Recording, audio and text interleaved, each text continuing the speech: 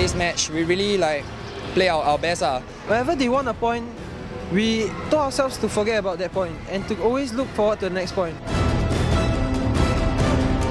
What I like about ASG is how it brings many people to one place and it allows us to interact with many different people. I like that the people here are really polite and even while they're playing, they, they don't forget to like uh, be grateful.